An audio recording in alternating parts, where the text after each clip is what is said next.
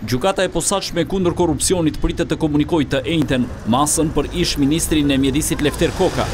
Ai ka zgjedhur të mbrohet nga Fatmir Braka, i cili ka qenë edhe avokati i ish-kryeministrit Fatos Nano.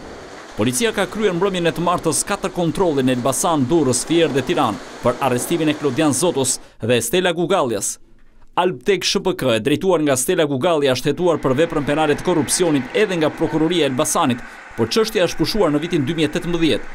Hetuesit atëherë kishin dyshime se Albtek korruptoi funksionarët lokalë të Njësisë Administrative Bradashesh. Ish-ministri i Mjedisit Lefter Koka u arrestua në shtëpinë e tij në Durrës nga SPAK. Ai dyshohet se ka përfituar afro tre pikë shtatë milionë euro. Të dhëna si ryshfet. Prokurorët kanë zbuluar se ai mori këto para në mënyrë indirekte, duke përdorur shoqëri tregtare të tjera të kontrolluara në mënyrë të tërthortë prej tij, prej familjarëve, si dhe prej subjekteve tregtare në zotërim të tij. SPAK ka konfirmuar se pritet të përfundojnë në pranga edhe emra të tjerë të njohur për dosjen e inceneratorëve.